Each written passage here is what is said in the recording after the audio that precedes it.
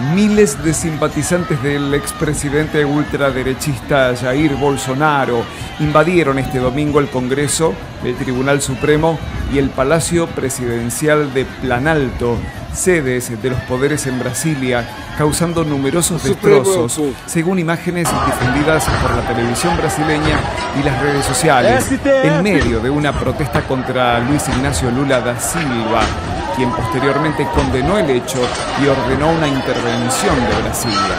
La policía detuvo al menos a 150 manifestantes y recuperó el control de los edificios.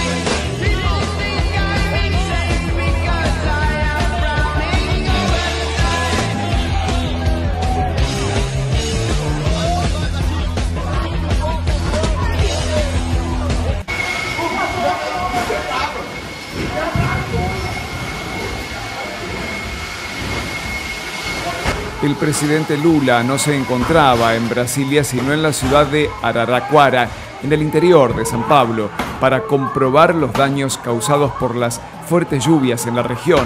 Desde allí siguió los hechos y posteriormente emitió un discurso en el que apuntó contra grupos nazis y responsabilizó al expresidente Jair Bolsonaro. Estas son las imágenes.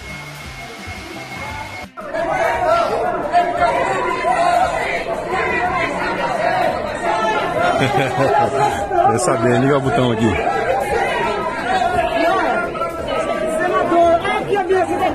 Tô substituindo. É com novo dinheiro!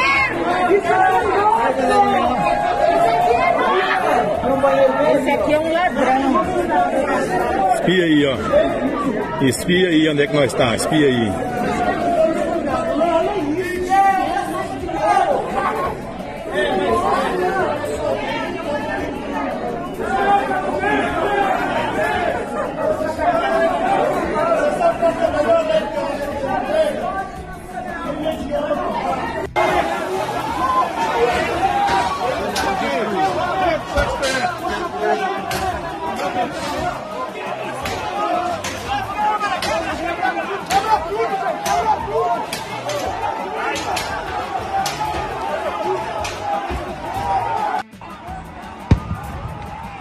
Abriram, abriram, olha.